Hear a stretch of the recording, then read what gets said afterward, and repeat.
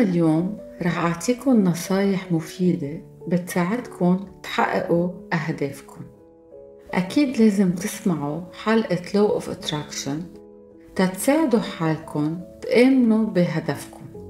بس هون بهالحلقة رح نفوت بالتطبيق بالاستراتيجي يعني بالبلان يعني رح نغوص أكتر كيف بدنا نقدر نحول هيدا الحلم لواقع بدنا نفسه بس كيف؟ أول شي وأبيخ شي بدي أقلكن قد مهم تعترفوا لحالكم إنه عالمنا الحالي فيه كتير فاكتورات حوالينا عوارض حوالينا بخلونا نلتهي. شو قصدي لكم؟ قصدي أحكي عن ال social media. قدام مهم بس بدكم توصلوا لهدفكم تنعزلوا عن حيلا شي معقول يلهيكم. حتى فيهم تكونوا أصحاب أما ناس معينين بيسحبوا منكم طاقة بيضيعوا وقتكم. مثلا الواتساب في يلهيكم في حدا يبعثكم خبرية بشعة. يعني فيكم تكونوا قاعدين لحالكم مركزين على شغلكم بس منكن لحالكم. يوصلكن إيميل على تليفونكم ضايقكن خبرية تشوفوها مثلا على تويتر ضايقكن فيديو بضحك على تيك توك يلهيكن أنا هون ما تواخذوني إذا عم بعمل كأنه شبه دعايات لل platform تبع ال social media بس أنتو فهمتوا قصدي. أنتو بس تكونوا عارفين إنه أنا كل يوم من هيدا الساعة لهيدا الساعة بدي أشتغل على هيدا المشروع بدكم تجبروا حالكم okay؟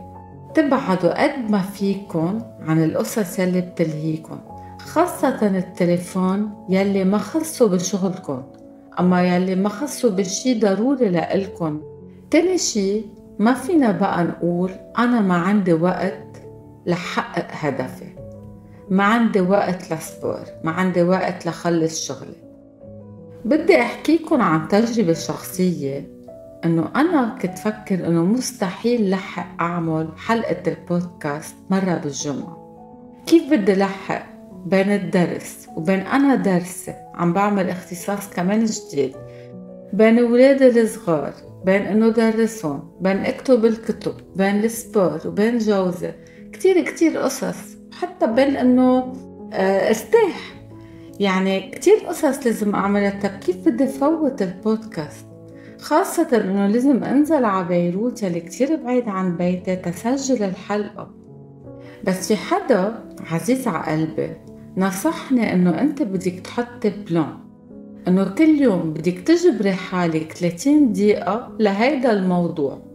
نهار لتحضريه نهار لتعملي research نهار لتكتبيه ونهار لتسجلي الحلقة. لقيت إنه معه حق بس إنه قلت له بس نزلت بيروت بتضيع لي كتير وقت. قال لي اشتري عدة البودكاست حطيها عندك بالبيت وسجلي بالبيت. طيب أنا ليه عم خبركن هيدا الشي؟ لأنه اللي بدي قلكن إياه ما في شي مستحيل إذا بدنا نحققه.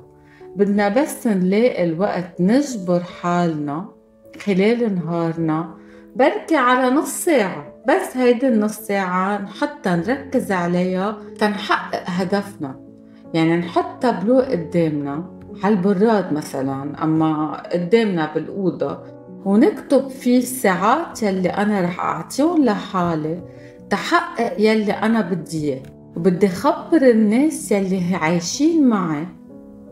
بهيدا الوقت إنه أنا عندي شغل بدي أطفي خطي وبدي ركز حتى لو هدفكم صغير حتى لو بدكم تعملوا سبور أو بنتور أو تتعلموا شيء أو تطبخوا شيء ما بعرف حيلا شو كان هدفكم كل واحد عنده هدفه الخاص. ما فيكم بقى تقولوا ما عندي وقت بدكم تخلقوا الوقت نخترع الوقت. طبعا هون أنا عم أتوجه للناس يلي مأمنين من قلبهم إنه بدهم هيدا الهدف. ليه؟ لأنه في كتير أوقات بنفكر إنه نحن بدنا شيء وما بنكون بدنا إياه عن جد. نتحجج دايما بقصص تما نحققهم هون أنا عم بحكي عن ال limiting belief يعني الصعوبات يلي منتحجج فيها تما نحقق أهدافنا. مثلا ما عندي وقت. أنا بخاف ما لحق عائلتي. ما عندي ال skills المهارة. أكيد كتير صعب أنا أصير أستاذ بالجامعة. هن أحسن مني. I'm not good enough. ما بستاهل أنا. ما بقدر أعمل هيدا الشي. ماني مؤهل لهيدي الوظيفة. غيري بيعرف أكتر مني. بركي أنا كتير صغير تكون manager ماني كتير ذكي. ماني كتير شاطر تأعمل هيدا ال meeting ما بستاهل انحب. يعني ما بفوت بعلاقة صحية مع شريك. فهمتوا علي؟ هول الأفكار يلي منقولها لحالنا يلي بتوقفنا نحقق نجاحنا. هو هن ال limiting belief بس هول هن بس أفكار مجرد أفكار منن واقعيين. هن أفكار بس بوقفونا. حقق نجاحي هيك بدنا ناخدهم. بخلوني ضلني بال comfort zone تبعي ودمر النجاح تبعي.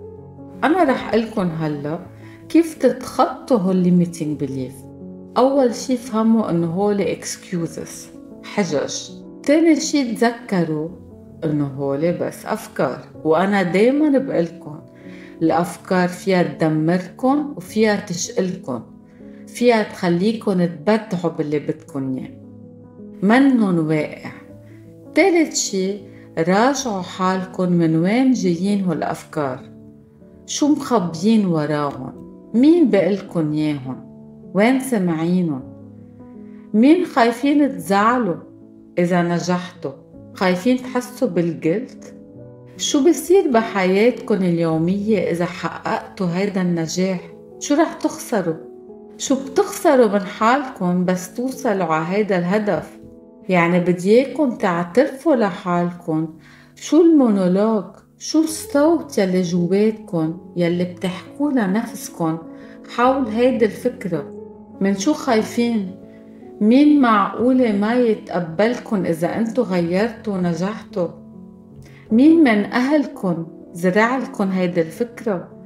أو مين من البيئة تبعكن حاطتلكن هيدا الستاندرد إنه نحن مش معمولين تننجح؟ معقول تكونوا بانيين هالفكرة على تجربة مسبقة؟ وقمتوا عممتوها؟ على كل شيء. تنعتم معي. بدنا نحارب هول الأفكار. بدنا نفهم إنه هول الأفكار شو عم نستفيد وقتها منقولن لحالنا. مثل ما بعرف حدا بقول لي عمري صار ستين سنة كيف بدي أرجع أبني حالي بهالآخرة؟ قلت له طب أنت بعدك بصحتك وبعدك قوي وبعدك ذكي وبعدك بتفكر كتير منيح شو هيدا التفكير؟ أصلا أنتو بتعرفوا إنه يلي بيشتغل ما بيموت بضله عايش بضل عنده هدف؟ ارجعوا اسمعوا منيح السؤالات يلي قلت لكم إياها وارجعوا حللوا حالكم. قديه هول الأفكار هي اللي عم توقفكم إنه تحققوا هدفكم؟ طب هلأ اقتنعتوا معي إنه صار الوقت نحقق هدفنا؟ بدي إياكم تتبنوا new belief يعني تفكير جديد مبني على كلمتين بس. سمعتوني منيح هن بس كلمتين. هول كلمتين سمعتهم للصراحة ب interview مع حاكم دبي مع مع الشيخ محمد بن رشيد آل مكتوم. هيدا الحاكم ألف جنة من صحراء. يعني ما معقول يكون في بلد هالقد perfect هالقد بحب شعبه هالقد نظيف هالقد حلو عم لكم جنة. okay؟ بس هو مبني على حلم شخص وحققه حاكم آمن وحب أهدافه وشعبه. صراحة ما في كلمات بتوصف الإرادة يلي عنده إياها. هول كلمتين هن why not ليه لا؟ قال ليه لا؟ يلي كنت عم تسأله بال interview. قال ليه بنيويورك فيهم يعملوا هيك؟ ونحن لا. ليه لا؟ طب ليه انتو ما فيكن تحققوا يلي غيركن قادر يحققوا عدوع براسكن كل ما تجي فكرة سلبية قولوا ليه لا. why not هيدا التفكير الجديد يلي لازم وضروري تتبنوه من يوم ورايح تتحققوا أهدافكم. بدكن تضلكن تعيدوا لحالكم إنه أنا فيي. ممنوع بقى ما فيي بقى أقول ما عندي وقت. ما بعرف. حدا غيري أحسن مني. ما في يصير آه، أنا البزنس مان ناجح. بدكن الجرأة بس تقولوا هالكلمتين السحرية. أنا فيي. ليه؟ لا. طولت عليكم حكي. تنبلش بالتطبيق تعوا معي أكتر تنغوص بالتطبيق أكيد أول شي وأهم شي بدنا نحط plan de travail okay؟ بدكم تسألوا حالكم شو بصير إذا أنا ما بحقق هيدا الهدف؟ يعني دماغكم وتفكيركم بدهم يعرفوا إنه انتو عم تخسروا كتير إذا ما وصلتوا على هيدا الهدف. يعني هالقد بدكم تكونوا جوعانين توصلوا على هيدا الهدف لأن انتو بتخسروا إذا ما وصلتوا له. بدكم تضلكم تعدوها هيدي الفكرة. وكمان بدكم تسألوا حالكم هول عشر أسئلة أوكي؟ تتوصلوا على هيدا الهدف. هون فتنا بالتطبيق وسجلوا معي. واحد أنا وين هلأ من هدفي؟ يعني بدي اياكم توصفوا حالكم هلأ. ووصفوا حالكم بس توصلوا على هذا الهدف. اثنين أنا شو صرت عامل تحقق هيدا الهدف؟ شو نجح معي وشو ما نجح؟ ثلاثة أنا شو في شي بعرفه وبعد ما عملته تحقق هيدا الهدف. أربعة أنا شو في شي ما بعرفه ولازم أعرفه تحقق هيدا الهدف. مثلا لازم أتعلم أكثر عن ال marketing تسوق ال product تبعي. أو مثلا لازم أدرس شي جديد. أو أظهر أكثر مع ناس وأسألهم عن حالهم هن شو عملوا تنجحوا بهالموضوع خمسة إذا عندكم role model حدا بتتمثلوا فيه شو كان نصحكم اليوم تتحققوا هيدا الهدف؟ شو كان قالكم؟ ستة كيف عملتوا بموقف شبيه لهيدي الحالة وقدرتوا تتخطوا الصعوبات وحققتوا النجاح يعني انتو بدكم تتكلوا على التجربة تبعكم. يعني بدنا نستعين بخبرتنا كمان. سبعة شو لازم غير بشخصيتي الحالية؟ شو لازم غير بحالي تأنجح؟ ثمانية سألنا حالنا هالأسئلة فينا نزيد كمان. مين معقول يساعدني حقق هدفي؟ وقد إيه أنا رح أسمح له يساعدني وكيف هو في يساعدني تسعة شو معقول يوقفني من إنه حقق هدفي؟ وكيف أنا رح أتخطى هيدا الموقف؟ هون عم جهز حالي للمعركة للصعوبات. عشرة بدي أحط وقت يعني بدي أعطي حالي مهلة تأوصل لهيدا الهدف. هون طبعا أنا ما عم بكون عم بحشركن يعني إذا ما خلصت شغلي بعد سنة يعني أنا فشلت. لا بس بتخيل الدماغ وتفكيرنا بس يعرف إنه عنده مهلة سنة. déjà بيعرف حاله إنه خلال هيدا السنة في يحط plan واضح إنه عنده الوقت الكافي okay؟ وبيقدر يعرف حاله إنه هو رح يوصل لهونيك يعني إذا ما زبطت معكم سنة زبطوها لسنة ونص. بس ضلكم تركين target هدف إنه أنا بهيدا التاريخ تقريبا رح كون صرت هيك. حلقتي خلصت بحب تشاركوني أنتو كيف عملتوا تتوصلوا لهدفكم. أكيد في قصص بتعرفوها أنتو وأنا ما قلت لكم إياها. شاركوني على صفحتي على انستغرام أنا ريتا بصير. هلا قبل ما ودعكم رح ارجع ذكركم بالنقط اللي لازم تتذكروها تتحققوا هدفكم. عنا ما نلتهي نكرس وقت لهدفنا نقتنع بالادد فاليو يلي رح نوصل بس نحقق هدفنا نتخيل حالنا قد إيه رح ننبسط بس نوصل لهدفنا نسأل حالنا العشر أسئلة يلي قلت لكم عنهم. نكب الأفكار السلبية limiting belief يلي بتحدد من قدراتنا. وأهم شي نستبدلها بهالكلمتين السحرية ليه؟ لأ.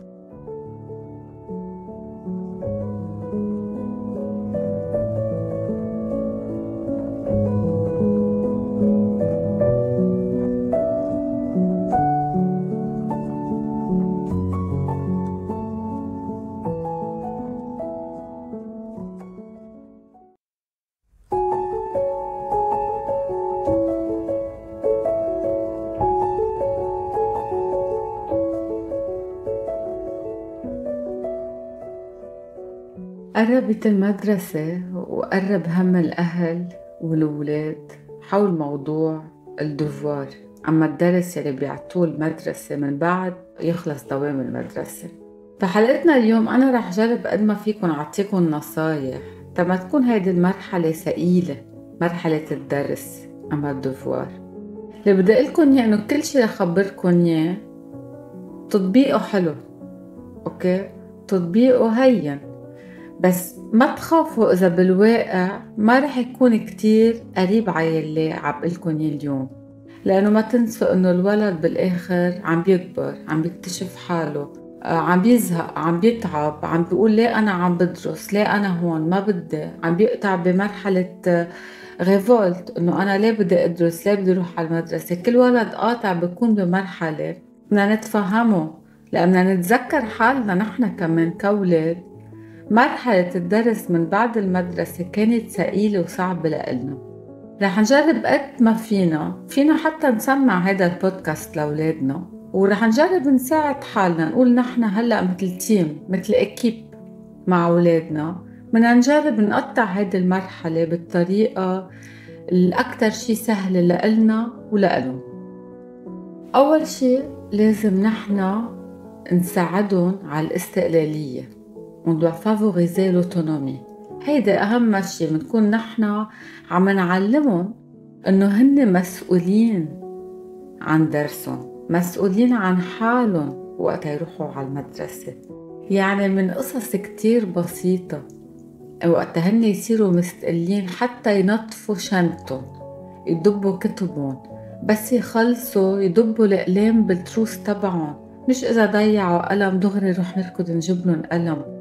منبلش من أول شي من شنطة المدرسة من التخوص تبعهم من الأقلام تبعهم من التياب تبعهم كيف بحضروا حالهم تيروحوا على المدرسة. هن بدهم يبلشوا يصيروا مسؤولين. حتى فينا نحن كل يوم عشية نسألهم مثلا شو عبالك بكرة تاخد معك تاكل على الأكل؟ شو فيها حضر لك؟ أما شو عبالك أنت تحضر من اليوم؟ ليكون نهارك حلو. تتاكل شي بتحبه. يعني المدرسة ما تكون بس هي للدرس هي كمان نمط حياة. نعلمهم إنه نحن بدنا نظبط حالنا الصبح نفرش أسناننا بدنا ناكل بدنا نجهز أغراضنا بدنا نحط الألارم تنوع بكير بدنا ننام بكير. يعني نفوتهم بغتيال بعادة. لأنه هيدي العادة أول شي بتعملهم مستقلين وبتساعدهم عن كبر. لأن بالآخر المدرسة هي نموذج عن يلي رح نعيشه عن كبر نحن فينا نفهمهم هيدا الشيء إنه نحن عم نحضر حالنا للحياة بعدين. وقتا نحن نصير نروح على الشغل وقتا نحن نصير مسؤولين عن موظفينا بدنا نكون نحن نعرف نحضر أغراضنا. فإذا نحن هون بنكون عم نحمس الولد يكون مستقل اعتبروا الولد بيجي بعد الظهر أوكي؟ وعنده الاجندا مش إنه بيعطينا إياه. هون طبعا عم بحكي كل عمر بعمره بس الأهل بيعرفوا أي متى الولد بيقدر يقرأ الاجندا قد إيه فينا نحن نسأله على الاجندا شو عطوك اليوم درس. نفتح الاجندا معه فرجينا شو عملتوا وهون بدي أفتح هيك parenthèse صغيرة. جربوا بس ولادكم يجوا من المدرسة. ياخدوا break ياكلوا okay؟ يحضروا télé يرتاحوا بركي يتحمموا ياكلوا friandises إذا بدهم. يلعبوا يعني ياخدوا وقت راحة. حضروا حلقة البودكاست اللي عملتها عن الزهق وعن الراحة. بتعرفوا كمان إنه قد إيه مهم هيدا الشيء تيرجع يقدر يقلع بدرسه.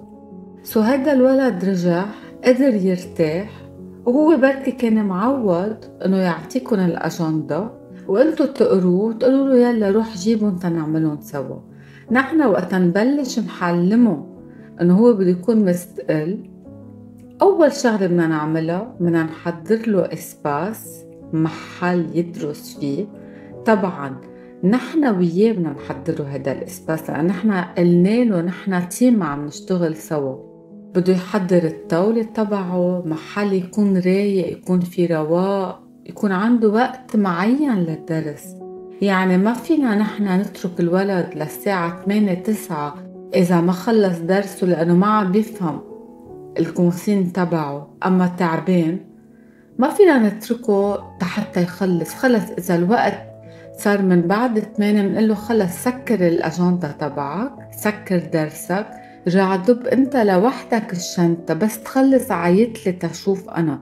يعني انتو فيكم تعملوا supervision ترجعوا تراقبوه. بس هو شوي شوي بصير يعرف يعملهم لوحد.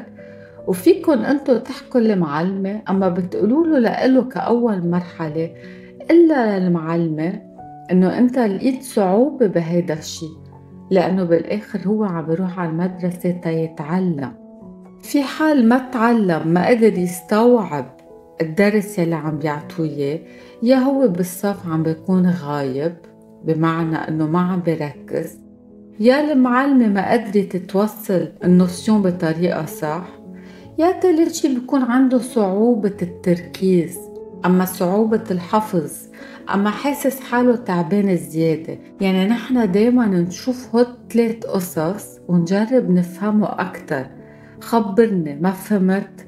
شو يلي لاقيه صعب؟ انت تعبان مزعوج شي بالصف معلمة عم بتكون شوي سريعة معك خبرني تنتشارك سوا. يعني نحن هون تيم نحن وولادنا تنحكي مع المدرسة تنشوف كيف بدنا نساعد حالنا.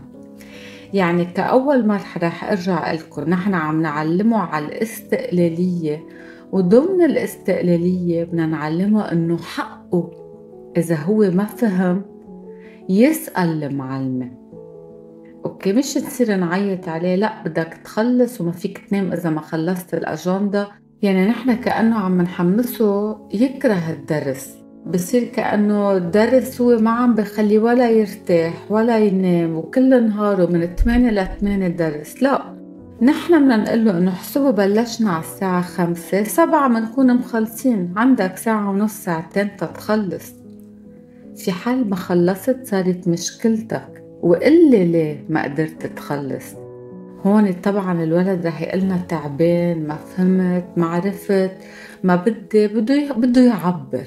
اتركوه يعبر اتركوه يخبركن ليه هو ما قدر يخلص درسه. زهقان تعبان بده يظهر ليه عم يدرس اسمعوا له قعدوا معه. سألوه أنا كيف في ساعدك تنخلص هيدي المرحلة تنخلص الدرس. رح أقلكن خلص ما بدي. عادوا معه. جيبوا ورقة. قالوا شو أكتر شي لقيته صعب؟ شو أكتر شي بتحب تدرسه؟ شو أكتر شي لقيته هين أنت وعم تدرس؟ أكيد في شي بتعرف تعمله أكتر من غيره. طيب شو رأيك نبلش بالقصص الهينة؟ خلصهم لوحدك. والقصص اللي بتلاقيهم صعبة تعال عندي وبنعملهم سوا. ساعدوه عبالك تسأل سؤالات للمعلمة بكرة. بدك نكتبهم سوا. انت روح اسألها إياهم. يعني هو مسؤول كمان يروح يسأل المعلمة كيف عبالك نقضي الوقت سوا من بعد ما تخلص درسك؟ هون بصير عنده طموح بس يخلص درسه. يعني بركي عنده شي بحب يعمله نعمل له إياه. بحب يعمل peinture بحب يعمل activité إذا قادرين نعمل له إياها نعمل له إياها. بركي لكم عاملة أحضر télé يروح يرتاح يحضر télé يعني مش غلط نعطيه récompense مش غلط نقدر نقول له برافو من أسهل الطرق تتبلشوا تعلموا ولادكم على المسؤولية. انه هن يصيروا كمان مستقلين عندهم ال autonomie بلشوا مثلا تسألوهم سؤال في بقلبه خيارين. يعني بتفضل تدرس قبل ما تاكل أما بتفضل مثلا نعمل activité قبل ما ندرس؟ يعني هو ينقي شو بده يعمل. أهين من ما إنه تسألوا شو عبالك نعمل.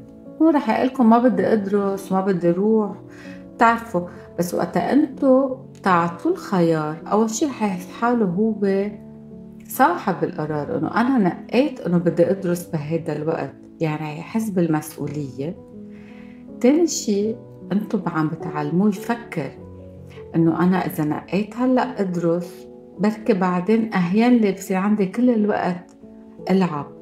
مش بس هيك إنتم مثلا وقت بيكونوا قاعدين كتير على التلفزيون فيكم تسألون طب اليوم إذا حضرتوا ساعة télé okay؟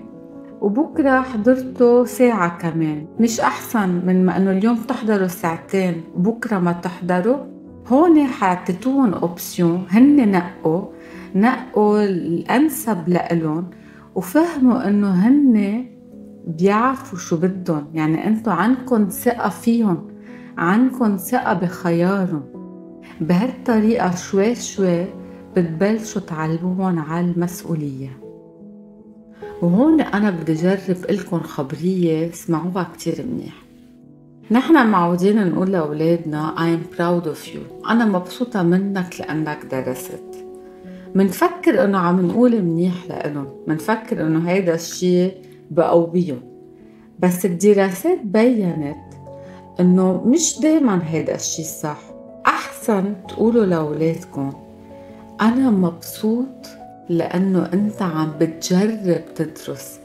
يعني نحن نعزز له الإفاق تبعه إنه هو بده يعمل شي إنه هو جرب يعمل شي. نعزز هيدا الشي. أنا مبسوطة على جهدك ومبسوطة إنه أنت عطيت وقت لحالك تفوت تدرس. برافو إني جربت حتى لو ما قدر يخلص. بس هون نحن ما نفهم هالنيونس. مش إنه يلا أنا I'm proud of you مبسوطة فيك جبت علامات منيحة أما درست لوحدك. لا هيدا مسؤوليته بالآخر وهيدا الشيء عم يعمله لإله. نحن ما نفهمهم هيدا مش لإلنا. نحن كبرنا وعملنا وتعلمنا هيدا الشيء لإله. نحن ما نقله نحن مبسوطين لأنه عم بتجرب عبالك تعمل. حتى لو تعبان عم بتجرب تفوت تدرس. حتى لو ما عم تفهم عم تجرب تسألني. وهون نحن قديه حلو نشارك ولادنا. نحن وقتا كنا صغار قديه نحن كنا نلاقي صعوبة بالدرس. مش غلط فينا نخبرهم. ساعتها بحسوا حالهم إنه هن نورمال. طبيعي الواحد ما يحب كتير يدرس لأنه بركي يتعب. بس منرجع نحن منفوتها بالإطار. وهون هيدي النقطة الثانية اللي بدي أحكيكم عنها. بإطار إنه نحن بدنا نعطي أهمية للمدرسة. طالما الولد والأهل منهم حابين المدرسة طالما الدرس ما رح يحبوا له الولاد. طبعا المدرسة هي صعبة ما فينا ننكر هيدا الشيء. دوام طويل وهلأ عم بصير في كتير تغيير. صار في مدرسة بالبيت صار في مدرسة عم بغيروا الدوام. بس نحن ما ناخدها مثل ما هي. إنه هيدا الشيء لمصلحة ولادنا عم بتعلمهم على ال discipline على ال organisation على الدوام وبالآخر كمان عم تعطيهم معلومات بيقدروا يعزوها بس يكبروا بشهاداتهم وبحياتهم اليومية. يعني أنا كل شي خبرتكن عن المدرسة خدوه مثل ما هو وخبروه لأولادكم قولولن حتى بالمدرسة رح تتعلموا تتفاعلوا مع أصحابكم. تتفاعلوا مع الناس يلي أكبر منكم مع الأوتوريتي مع الإدارة مع المعلمة. هونيك كأنه exemplaire كأنه مرحلة أولى كأنه أنتو عم تقدموا test بكل شيء بالدرس بالعلاقات بالصحبة بالدفاع عن النفس ما تنسوا تحضرون حلقة ال bullying وأنتوا تحضروها كمان. يعني المدرسة هي منا بس درس ودوام نروح من الصبح لعشية. لا المدرسة هي باكج كل شي بتعطينا الثقة بتعلمنا نحضر حالنا نلبس ثيابنا يكون عنا نظام نعمل أصحاب نعرف ندافع عن حالنا نتعلم معلومات. وهالمعلومات نحن فينا نشاركها مع أولادنا. خبرني شو تعلمت اليوم. تا خبرني؟ أنا ما بعرف قلي شو هو الشي اللي تعلمته. وفيكم كمان تقولوا له مش معقولة أنت شو قوي بهيدي المادة؟ قديه حلو؟ قديشك شاطر بهيدي المادة؟ خلينا نركز عليها أكتر تا خبرني أكتر كيف عم بتحلها أنت؟ يعني نفهمه إنه عنده كمان قوة بالقصص في عنده ماتيرات بيبقى قوي فيها بصير هو مبسوط بحاله. علمني كيف أنت حليتها. أوكي؟ يعني نحن كل ما جربنا نحكي مع الولد حول الدرس حول المدرسة حول اللاكون تبعه القصص اللي هو بليها صعبة. بركي لكم ولا أنا العربي ما بحبه. ما بحب العربي مش عم بفهم مثلا ولا الاستظهار ولا القواعد ولا الإنشاء إنه أنا ليه عم بتعلمهم ما بدي؟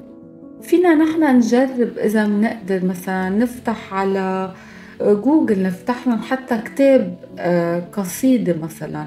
شي قصة حلوة بالعربي نقري لهم إياها نقول لهم ليكوا اللغة العربية صح صعبة بس مش الكل بيعرف يحكيها. مش الكل بيعرف يكتبها. يعني نقدر نعطيه شو يلي عم بميزه عن غيره وقتها هو عم يتعلم هيدا الشي. بالجغرافيا مثلا. عم بلاقي صعوبات بالجغرافيا. نحن بدنا نقول له ليه؟ شو هي أهمية الجغرافيا؟ هي مش بس إنه نحن عم نحفظ.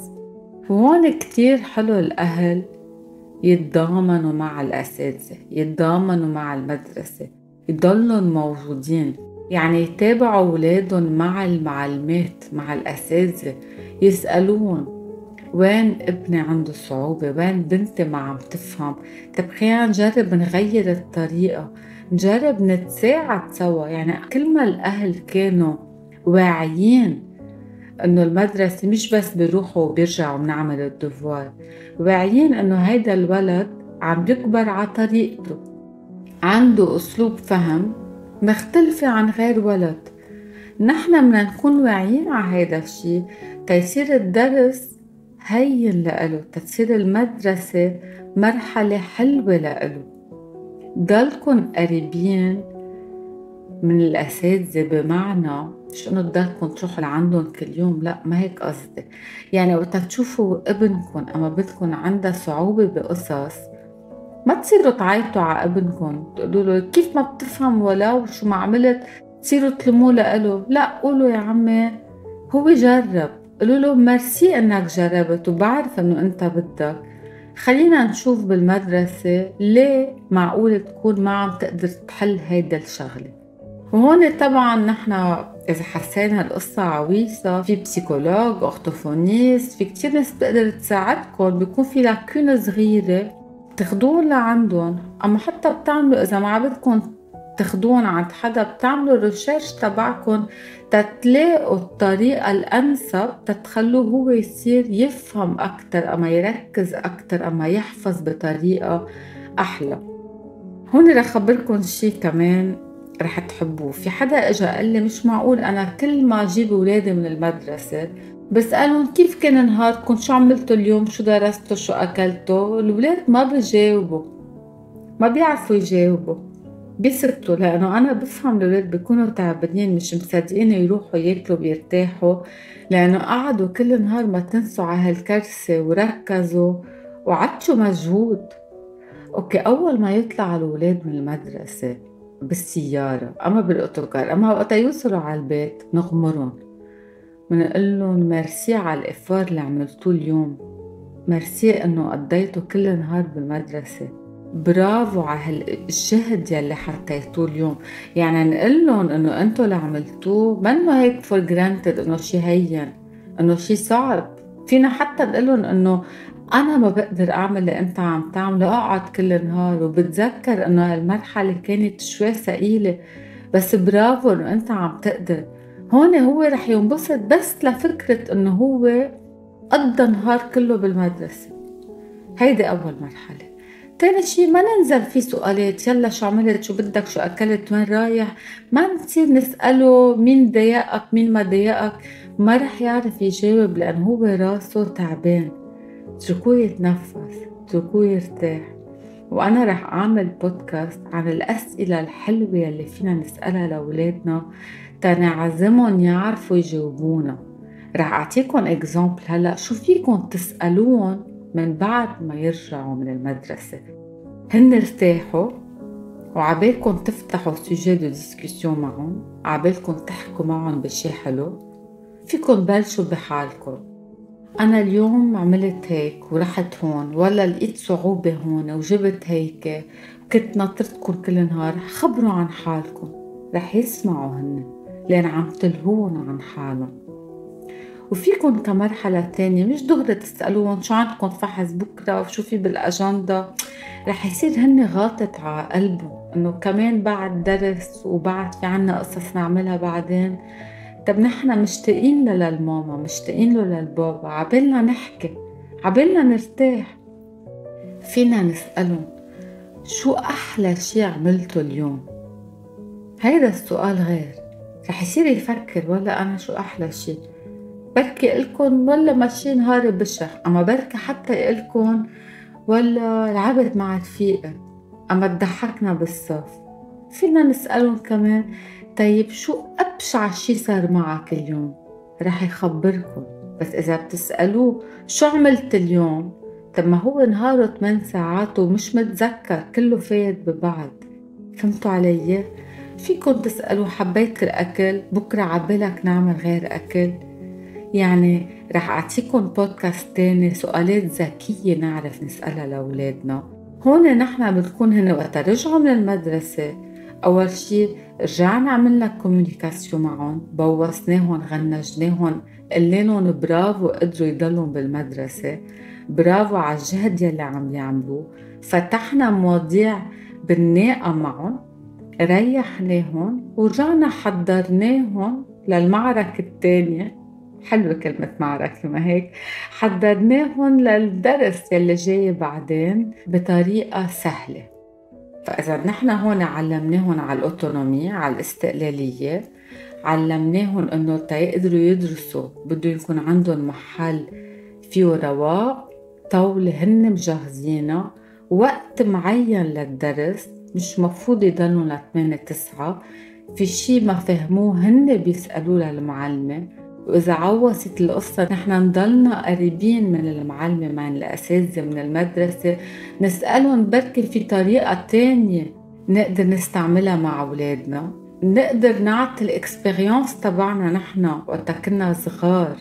شو كنا نلاقي صعوبات؟ إن أول point positif يعني نعزز لهم هن القدرات تبعهم. يعني إذا هن قوية بالتاريخ والجغرافيا قوية بالمات نزقف لهم إنه أنت هون كتير قوي. طب خلينا نبلش بالقصص الهينه لإلك. عملهم لوحدك وبعدين أنا بساعدك بالقصص اللي بتلاقي فيها صعوبات. يعني نحن كل ما نلاقي طريقة نكون اكيب كل ما نكون تيم كل ما نكون شركاء مع أولادنا بهيدي المرحلة اللي هي بعد الظهر كل ما هو قطعها بطريقة أسهل. وما تنسوا شغلة كتير ثقيل الأهل يلي بيعملوا درس من التنين للأحد. لا مش حلو هيك. كيف انتو بترتاحوا كأهل؟ كيف الأحد ما بتشتغلوا؟ الولد كمان الأحد أما السبت بعد ظهر أما حيلا نهار هو لازم يرتاح فيه كمان لازم ما يفكر بقى بدرسه. كمان علموه يرتاح.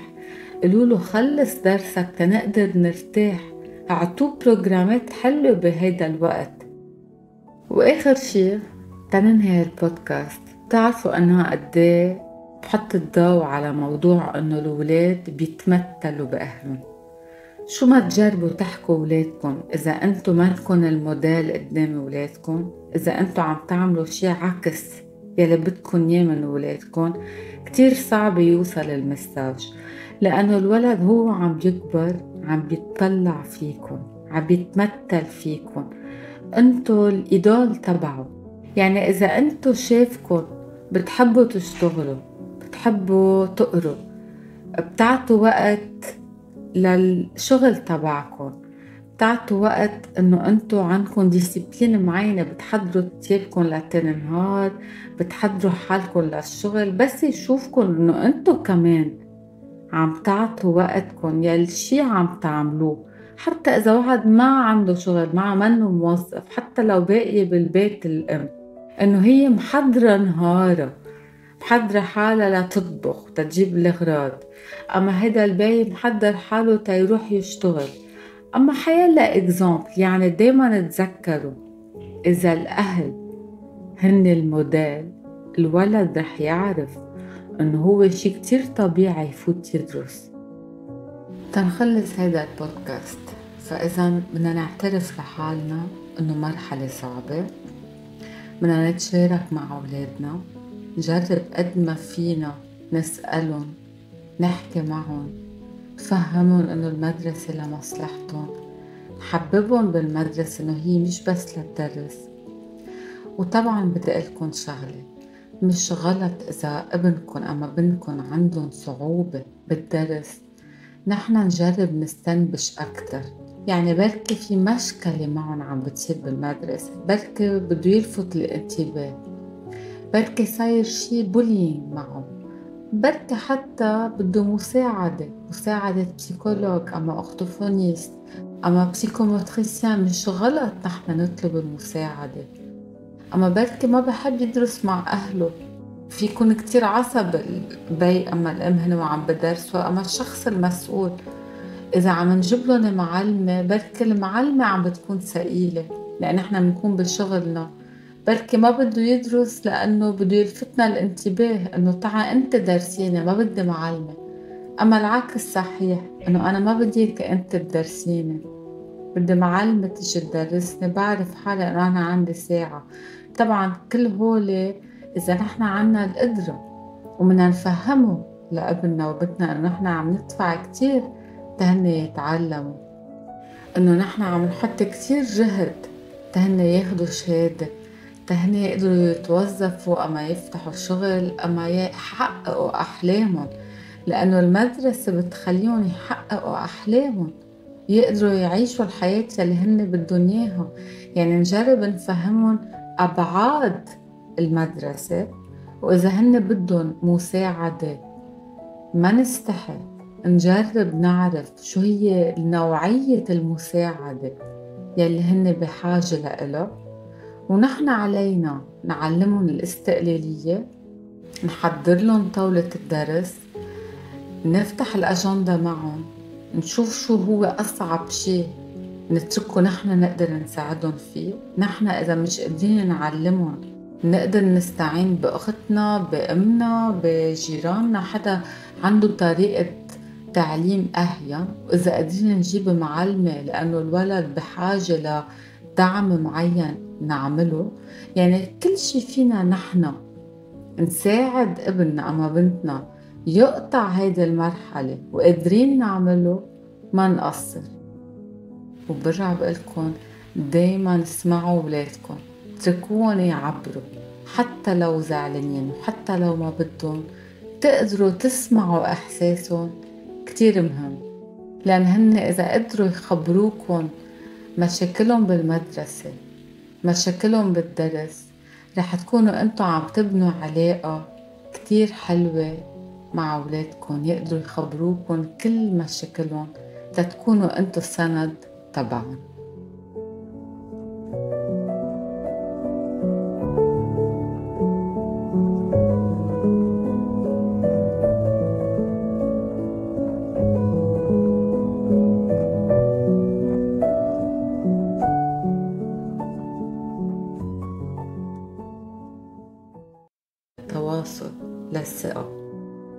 لأنه بدي أقلكم نصيحة كتير مهمة. الولد طبعا هو وعم يكبر بده يغلط مثل ما نحن غلطنا. بده يختبر بده يوقع بمشاكل بس أهم شي ما تمنعوه يشارككن تجاربه يشارككن الصعوبات يلي عم يقطع فيه ما يخاف يخبركن شو عم بيصير معه لو قد ما كانت بتزعلكن الخبرية خليكن انتو الشخص يلي فيه يوثق فيه. وبهيدي الطريقة وقت انتو تبلشوا شوي شوي عن صغر. تفتحوا هيدا الباب التواصل بتخلوه هو يصير عنده ثقة يخبركن كل شي. أنا بسأل هالسؤالات لأولادي دايما. بكتشف حالي أنا كأهل وين فيي طور حالي؟ شو يلي أكتر شي فيي زبطه بعلاقتنا؟ شو يلي عم بضايقهم؟ شو يلي عم بيستفيدوا منه أكتر شي؟ كيف بسألهم ياهن عادة بس نكون بالسيارة في مشوار طويل. بقول ولا اليوم بدنا نسأل سؤالات ذكية. صاروا يعرفوا إنه في سؤالات ذكية بينبسطوا بيتحمسوا بفكروا حالهم أصلا عم بيلعبوا. حتى لو كان عمرهم كبير عامة لأنه الإنسان بحب يحكي عن حاله وهون هن بصيروا يحكوا عن حالهم. فيكن أنتو تتفقوا مع أولادكم عن نهار بالجمعة بتقعدوا سوا تتسألوا سؤالات ذكية. بهالطريقة بيعرف الولد إنه مثل ما في وقت للسبور وقت للدرس للنوم في وقت تنهتم بنفسنا تنكتشف نفسنا. فإذا بلا ما طول حكي عليكم خلينا نبلش بالسؤالات. سؤالات النكتار فيكن تكتبون يا أما ترجعوا تسمعوا البودكاست على رواق. كل ما يكون بدكم سؤال. كيف بتحسوا حالكم محبوبين؟ كيف نحن كأهل عم بتخليك تحس إنه منحبك؟ كيف بتعرف إنه أنا بحبك؟ وين بتحس إنه أنا بحبك؟ شو أكتر شي بعمله معك بحسسك إنه أنا بحبك؟ بشو أنت فخور أكتر شي؟ شو يلي بيبسطك؟ شو هو أحلى وقت عندك يا بالنهار وشو هو أبشع وقت عندك يا بالنهار؟ شو أحلى شي بتحب تعمله معي ك activité كهواية. أصلا شو أحلى هواية بتحب تعمله؟ شو أحلى هواية بتحب تعملها من دون؟ إذا أنت بدك تنقي شي عبالك تعلمني إياه شو فيك تعلمني؟ شو هو الشي اللي أنت بتعرف تعمله وأنا ما بعرف أعمله؟ وأنت فيك تعلمني شو بتحب أنا علمك أكتر؟ شو هو أكتر شي بخليك تنزعج؟ هون وقت الأولاد ما بيعرفوا يجاوبوا فينا نحكي عن حالنا. يعني وقت عم نسألهم انتو كيف تعرفوا إنه نحن منحبكن إذا بقولكن ما بعرف إنه بضيعوا بالجواب عطوا عن حالكن انتو حكوا عن حالكن إنه أنا بحب بس تغمرني بس تحكيني فيكن تخبروه عن أنتو شو عم بتحسوا. وقتا أكتر شي بضيعوا الأولاد وقتا تقولولن إنه شو أكتر شي بقلقكن بتخافوا منه. بضيعوا بخافوا يقولوا بس عامة الأولاد بخافوا من الموت بخافوا يخسروا أهلهم. إذا ما عرفوا يجاوبوا فيكم تقولوا لهم إنه أنا بخاف وقت أنتوا تسخنوا وقت أنتوا تزعلوا. وقت أنتوا تشاركون أنتوا شو عم بتحسوا؟ التجربة الشخصية تبعكم هن رح يعرفوا يجاوبوا. شو أحلى كتاب قريته؟ شو أحلى فيلم قريته؟ وليه؟ شو حبيت بالبطل؟ بتحب تكون مثل البطل؟ شو في شي أنا فيي أعمله معك أقل؟ يعني خصصه معك. أما شو في شي أنا بعمله معك لازم أعمله أكتر معك. عبالك تجرب شي جديد. شو أحلى عمر قطعت فيه؟ ومش بس هيك إذا عفيك تنقي عمر أي عمر عبالك تكون؟ وليه عبالك تكون هيدا العمر؟ كيف في يكون أنا أحسن كأهل؟ شو هو الشي اللي بخليك تروق؟ شو هو الشي اللي بخليك تحس بالقلق بالتعصيب؟ شو هو الشي يلي بخلي عائلتنا تكون يونيك تكون مميزة يلي بتميز عائلتنا عن غير العيال إذا بدك تعطي صفة عن العيلة تبعنا شو بتقول؟ إذا عبلنا نخطط ظهرها سوا كعائلة شو بتنقي؟ كيف فينا نحن كعائلة نعمل أكتر قصص تنتسلى؟ وين عبالك تعيش بس تكبر؟ كيف فينا نظبط بيتنا؟ شو في قصص ببيتنا فينا نغيرها مضايقتك؟ شو أحلى شي إنه أنت ولد؟ شو أحلى شي بجسمك؟ شو أكتر شي بتحبه بشخصيتك؟ شو أحلى شي بتحبه فيي وبإخواتك وشو أكتر شي ما بتحبه فيي وبإخواتك شو عبالك بعد تتعلم شو هي لعبتك المفضلة طيب هيدي اللعبة إذا عم تحكي معك شو فيها تخبرك؟ شو فيها تقلك؟ شو أطيب أكلة عندك؟ شو الأكلة يلي ما بتحبها أي متى أكتر شي بتحس بالأمان؟ شو أكتر وقت تضحكت فيه؟ معنا كعائلة أما خبرني شي قصة ما فيك تنسيها.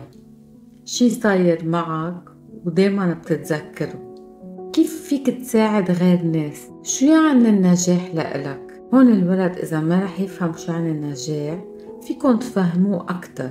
طبعا النجاح مش بس إنه واحد يكون معه مصاري اما بس إنه يشتغل. بتكون تفهموه شوي شوي إن النجاح واحد يكون مبسوط بصحته وعم بيعمل يلي بحب يعمله قادر يعيش بكرامة. تعطوه إكزامبلات عن حاله. من السؤالات يلي فينا كمان نسألهم لأولادنا. مين البطل تبعك؟ Who is your hero؟ شو صار معك مرة حادثة ما بتحب تتذكرها؟ عبالك تشاركها معي.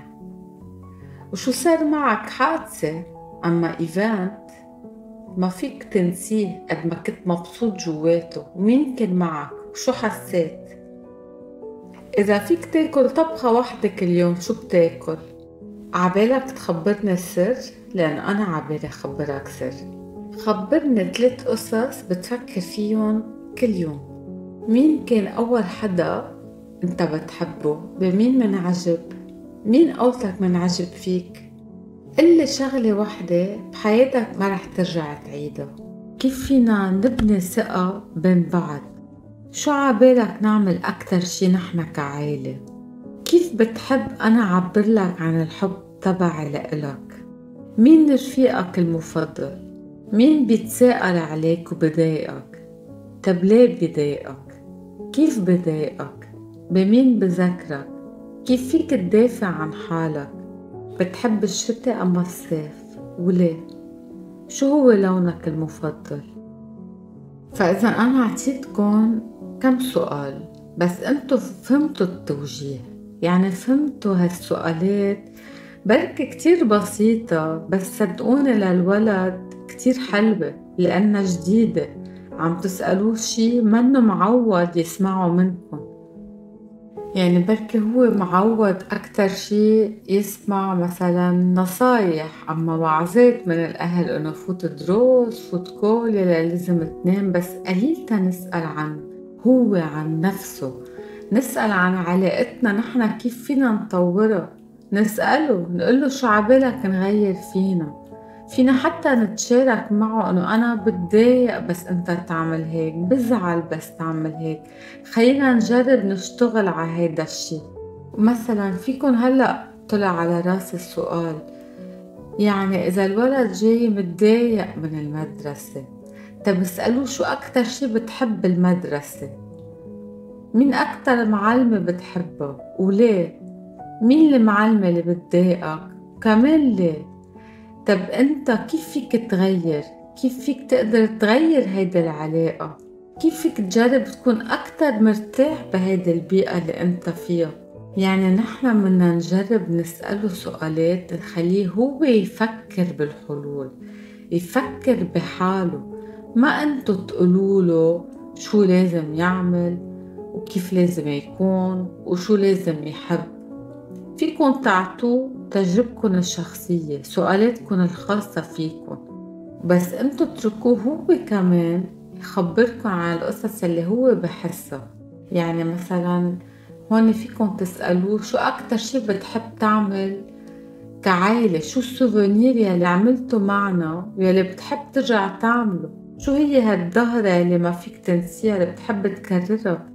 هون بتشوفوا شو هن القصص يلي بحب يعملها وبتفهموا أكتر شخصيته. مثل ما قلت لكم ما تنسوا إنه الولد بحب إنه حدا يتسمع له بحب يعبر وبحب يحكي. so إنتو جربوا افتحوا له الباب عودوه يعبر لإلكن عودوه يحكي عن نفسه. بهيدي الطريقة بتكونوا إنتو قد ما فيكن عم بتساعدوه يتطور ويكبر بطريقة صحية وسليمة.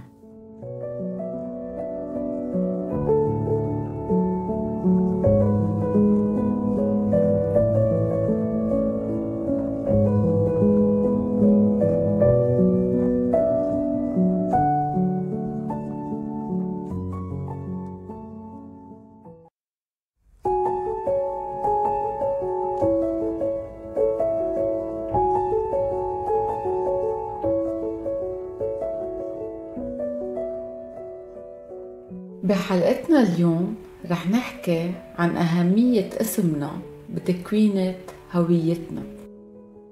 للصراحة بهيدا البودكاست رح شارككم تجربة شخصية حول الأسامي. بلشت حشريتي للأسامي من أنا وصغيرة بس شفت قديه في الاسم يلفت الانتباه ويميزك عن الغير. جدي الله يرحمه كان اسمه هتلر. بيي اسمه أدولف. بس كنت عرف عن حالي دايما خبر إنه بيي اسمه أدولف هتلر. كأنه هيدا الشي بميزني. ما يصدقوني. ويصير هيدا الشي الموضوع نقاش تبعنا. يعني نقعد نتناقش حول الاسم نقول واو شو حلو وليه سموه هيك؟ يعني صار هيدا الشي كأنه يميزني. كأنه هيدا الاسم المشهور كان بيشهرني لإلي. وقتا صار عمري حول العشر سنين وسألت جدي ليه سموه هتلر؟ ع اسم هيدا المجرم الكبير. قال لي إنه هيدا الاسم صحيح ميزه لأنه ما كان في غيره حامل هيدا الاسم عالميا تقريبا.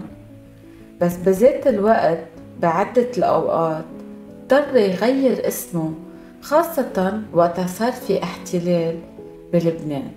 صار يسمي حاله فؤاد خاصة على الحواجز. فؤاد قال لي يعني قلب يعني كله أحاسيس. نقى اسم عكس الاسم يلي هو مسجل على الهوية لأنه كان تقل لإله هيدا الاسم عبء. من هون بلشت مغامرتي مع الأسامي وقد الاسم هو أول خطوة تنكتشف هويتنا. شو كان بدهم أهلنا نكون نحن وقت نقولنا اسمنا. شو كانت أحلامهم أهدافهم؟ ليه في أهل بسموا دوغول نابليون مثلا.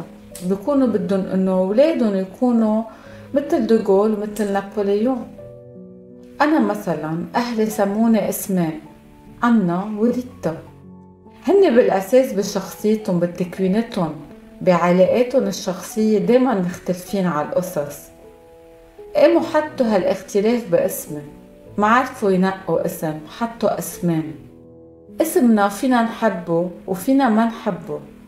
بس أهم شي نقدر نفهمه. عادة ما منعرف أهمية هالأحرف على حياتنا تصرفاتنا نظرة الآخر علينا حتى محلنا بالمجتمع. قد هيدا الشي مأثر باسمنا. اسمنا حامل معاني كتير. هو صلة بيننا وبين كياننا. هو بحدد مين نحن. انتو بتعرفوا انه الولد الصغير بحدد جسمه وكيانه من خلال اسمه؟ كأول خطوة بس الأهل يعرفوا عن أولادهم بسموهم باسمهم. حتى إذا بتشوفوا أولاد صغار دايما بس تشوفون مثلا بالسوبر ماركت بالمطعم تسألوه أول سؤال شو اسمك؟ تسألوا عن هويته من خلال اسمه. وبتستنظروا إنه هذا الولد ما يعرف يحكي شيء إلا يعرف يقول اسمه.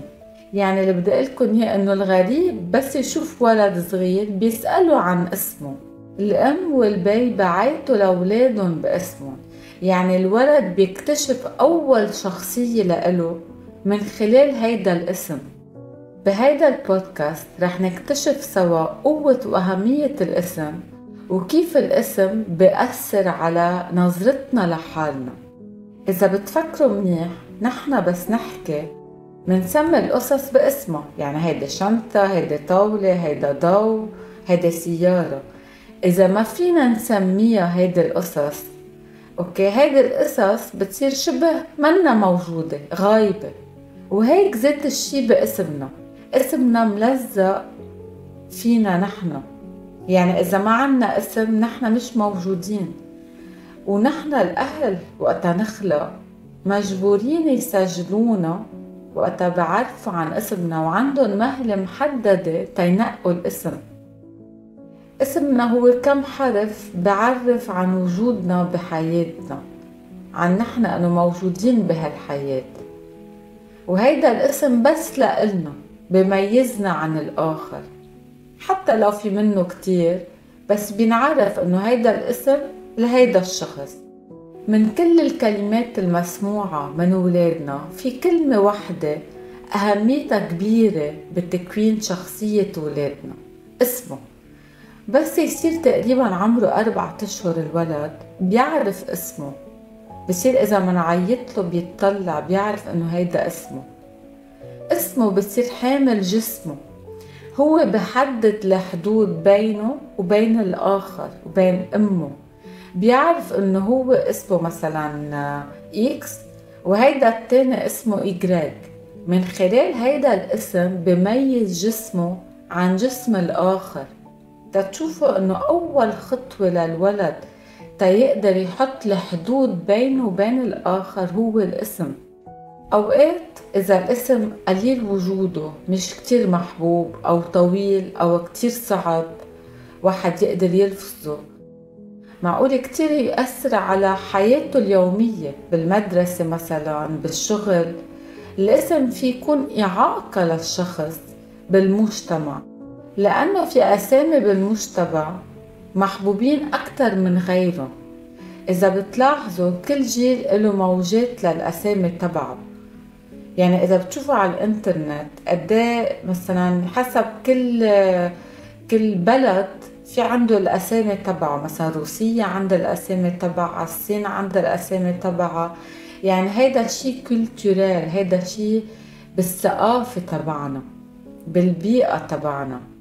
أو حتى الاسم في يكون على الموضة مثلا. كل سنة في اسم دارج أكثر من الثاني قد سمعتوا اسم أنجلينا من بعد شهرة أنجلينا جولي؟ هون الأهل حطوا رغبتهم إنه بنتهم تكون حلوة مثل هيدي الممثلة المشهورة والحلوة. قد إجت موجة الأسامي الصغيرة مثل تيا وميا؟ يعني إذا بتفوتوا على الإنترنت بتشوفون مقسمين حسب المناطق حسب البلد حسب البيئة حسب كل سنة كل سنة إلى الأسامي تبعها حتى في حسب الأديان قد إيه بتسمعوا في أهل بنقوا أسامي صغيرة بيقولوا تما يتضايق بالمدرسة تا يقدر يكتب اسمه بسرعة ما يتغلبط كتير باسم طويل تا ينلفظ بسهولة. هون الأهل بيكونوا عم بفكروا عم بيعملوا منيح لأولادهم. شوفوا من أي متى عم بفكروا من هو ببطنه عم بتفكر كيف هو بده يتعذب بالمدرسة إذا عنده اسم طويل. هون توصلكن على فكرة إنه ولا مرة الأهل بنقوا اسم غير ما يكون في هوية راغبينها لأولادهم أصلا مثل ما قلت لكم قانونيا الأهل بسجلوا اسم أولادهم يعني قانونيا الأهل هن بنقوا اسم الأولاد. وعندهم مهلة قصيرة تيسجلوا الولد. تيتسجل بده يكون عنده اسم. قد بتسمعوا أهل بيقولوا ما عرفنا شو نسميه. تأخرنا. سجلناه بغير آه، تاريخ لأنه ما كنا عارفين شو بدنا ننقيه. بيتأخروا تيلاقوا الاسم. هول الأولاد بالمستقبل كتير معقولة عن كبر يتأثروا بضياع أهلهم. ما كانوا عارفين أي شخصية بدهم يعطوهم. يعني تعطيكم اكزامبل أكتر. بعرف حدا مثلا كان بده صبي وإجا بنت. OK؟ آه قام سمى بنته تونيا. يعني هو كان بده يسمي توني. بس تأخر تيسجل بنته. وبنته عن كبر صار عندها مثل d'identité يعني هي ضايعة صبي أما بنت. بمحل معين لأنه كانوا أهلها بدهم إياها تكون صبي. حتى بالاسم مبين بينت هيدي الرغبة. في أهل بسموا على اسم بطل بفيلم مثلا مثلا مثل جان كلود فان دام بسموه مثلا جان كلود يعني اللي بدي قل لكم إياه نحن بنفكر إنه الأهل بيعطوا اسم لأولادهم بس لا. هن بالعكس بيعطوا شخصية لأولادهم. يعني هيدا الولد بركبوه على الاسم. بدهم إياه يكون مثل صفات هيدا الاسم. هون تتشوفوا إنه الأهل رغبتهم وأحلامهم موجودة من قبل ما يكبر الولد كأنه بيرسموه من خلال هيدا الاسم. الاسم عنده ثلاث صفات مثل ما قلنا. الهوية منعرف عن حالنا من خلال اسمنا. البروجي دافنير يعني نحن شو هو الحلم تبع أهلنا وقت نقولنا هيدا الاسم. شو بدهم يانا نكون عن كبر وتالت شي ال filiation. يعني نحنا وين محلنا بهيدي العيلة رح أعطيكم exemple تفهموا شو قصدي. قد إيه بتسمعوا مثلا آه، ولد مثلا اسمه مجد؟ بتشوفوا البي سمى ابنه مثلا تيصير هيدا الصبي حامل مجد اسم بيو. يعني هو مجده لبيو. يعني هون الاسم بيتركب مثل جملة مع اسم البي. يعني هو ما نقي بس للولد. عطيه صفة. حمله مسؤولية تيكون هو مجد بيو. هول الصفات إذا أهلنا بيعطونا إياهم وقتا ياخدوا القرار إنه يسمونا. أوقات حتى من قبل ما يتجوزوا قد إيه بتسمعوا بنات هن وصغار بيقولوا أنا بس مثلا جيب أولاد عن كبر رح سميهم هيك وهيك. من هن وصغار عم يحلموا بشكل وبصفات الولد من خلال هيدا الاسم يلي نقوه. بس يخلق هيدا الولد من خلال اسمه منعطيه كأنه اتيكيت كأنه منميزه عن غير ولد. دايما بتشوفوا الأهل بدهم إنه أولادهم يكونوا سبيسيال بصيروا ينقولن أسامي غريبة عجيبة هن بألفون تيميزوا أولادهم عن الآخرين بصيروا ما بنقوا أسامي كتير موجودة. رغم إنه اسمنا ما بيلبق لنا دايما ما منشبه اسمنا دايما. أو منرفض حتى إنه نشبهه. بس هيدا الاسم بضل متبعنا كل حياتنا. بس في كتير أوقات بكتير بلدان بحق لنا نحن نغير اسمنا. أصلا بتعرفوا إنه في أسامي ممنوع إنه الأهل يسموها لأولادهم؟ بتفوتوا على الإنترنت بتلاقوهم. مثلا لوسيفر هتلر نيوتيلا ميني كوبر بتفوتوا بتشوفوا الأسامي. وفي كتير ولاد عن كبر بقرروا إنه أنا هيدا الاسم عبء علي. مثل بعرف حدا إنه أهله سموه على اسم عمه يلي منتحر. حاسس إنه هو ليه بده يكون حامل آه هيدا عبء هيدا الفانتوم هيدا الشبح يلي انتحر. إنه هو ما بده يكون حامل هيدي الهوية. في كمان مثلا كتير ناس بتشوفوا بأساميهم في صفة نبيلة. ماجدة شريفة أوكي؟ نضال بتشوفوا إنه هيدا الصفات أوقات فيها تكون عبء على هيدا الشخص إنه هو بركة تقلي عليه يكون شريفة إنه بركة هيدا البنت ما بدها هالقد تكون حاملة هيدا العبء بهيدي الصفة بدها تكون مميزة بغير شي. ياما في ناس بغنجوا حالهم بغير اسم. لأنه بيكون اسمهم مثلا صعب. أما مثلا بيستحوا باسمه بشوفوه مثلا كتير مثلا مثل ما بتقولوا قديم أما مش فايت بالموضة. okay بصيروا بغيروا اسمهم وبغنجوه كأنه بيخلقوا هوية جديدة لإلهم. ونحن أوقات فينا ما نعرف إنه اسمه الأصلي هو شي تاني. مثلا سيدة بتغنج حالها ديدي اسم مهضوم أكتر. أنا رح خبركن عن أختي يلي اسمها لوريان. قد صار معها bullying بالمدرسة هي وصغيرة. يضحكوا عليها إنه لوريان لجور. اسمها كان صعب بالنسبة للبيئة اللبنانية يلي بتحكي عربي. اسم لوريان يلي هو اسم أجنبي. فإذا كانوا يضحكوا عليها ويسموها لوريان لجور وهي تتضايق. so صارت تسمي حالها لوري وكبرت معروفة باسم لوري. يعني الاسم في كمان يكون وسيلة للتنمر. هون الأهل ما بيعرفوا إنه هن بيكونوا عم بيعطوا عبء لأولادهم. مثل ما قلت لكم بحق له الواحد ببلدان معينة إذا سبب مقنع يغير اسمه. الأهل أوقات بفكروا عم بيعملوا منيح بس يسموا ابنهم أما بنتهم على اسم حدا من العيلة توفى. بس انتو بتعرفوا انه هذا الشيء معقول يعمل تقل للولد انه هو مسمى على اسم حدا ميت. يعني هيدا الاسم محملينه اياه كأنه هو حامل هوية هيدا الشخص يلي راح كأنه هو إجا بديل لهيدا الشخص ما عنده تكوينته وهويته الخاصة. حتى في أهل بسموا مثلا ابنهم على اسم البي. كأنه البي وجوده مش كافي.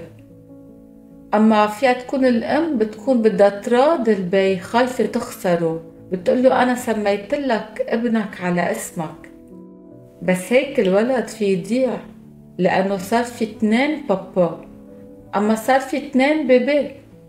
يعني ما فصلوا البي عن الابن سموهم ذات الاسم. مش هيك صاروا يحموا حالهم شوي الولاد ويسموا حالهم ال junior يعني هن الفيرسيون الصغيرة عن بيهم هن منن بيهم تيميزوا بيناتهم. ومثل ما قلت لكم في كمان الأسامي المركبة. يعني الأهل كانوا ضايعين شو بدهم يسموا سموا اسمين. في اسمين بيبقوا بناقضوا بعض. هون الأهل كل واحد بده يشوف حاله بده يقتنع باسمه. بده يدرس اسمه أكتر. أنا ليه عملت لكم هذا البودكاست؟ تتعرفوا إنه اسمكم مش ببلاش انعطى لإلكم. اسمكم عاطيكم هويتكم الأولى. يعني أول هوية أهلكم عطوكم إياها هي من خلال اسمكم. كل واحد منكم يقعد لحاله ويفكر هيدا الاسم شو حامل معاني. قد إيه أهلكم كان بدهم إياكم تكونوا اوريجينال قد إيه مثلا ميزوكم قد إيه عطوكم اسم يونيسكس مثل نور ما كانوا عارفين بدهم صبي بدهم بنت. أما عطوكم اسم صبي مركب على بنت لأنه هن كان بدهم صبي. قد إيه هيدا الشيء أثر عليكم بحياتكم عن كبر مش بس هيك أوقات الأمات منصير منعيط لهم حسب اسم ابنهم.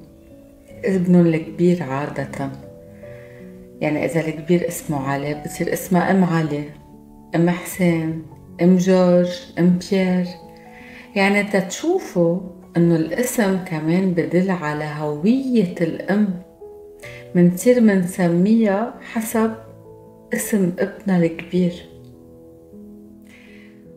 كمان في الأسامي اللي منغيرها منصير منسمي الشخص مثلا حياتي البيبي مثير انه هو كأنه البيبي تبعنا يعني تشوف إنه بنمحي الاسم أوقات بنحط له صفة تانية.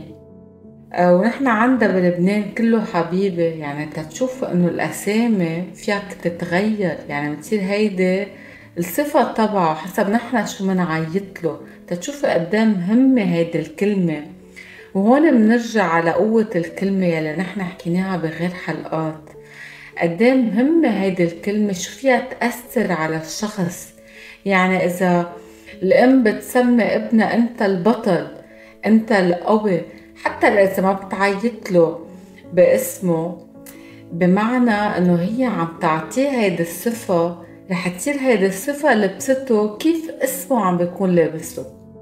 في كمان أسامي نمر أسد نسر هون تتشوفوا إنه الأهل وقت عم بيعطوا اسم حيوان لأولادهم هن عم بيعطوهم صفة الاسد ال characteristic تبع الاسد يعني بدهم إياه يكون شرس وقوي.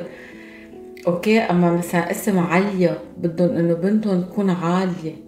أما أسعد بدهم إنه ابنهم يكون أكتر واحد مبسوط.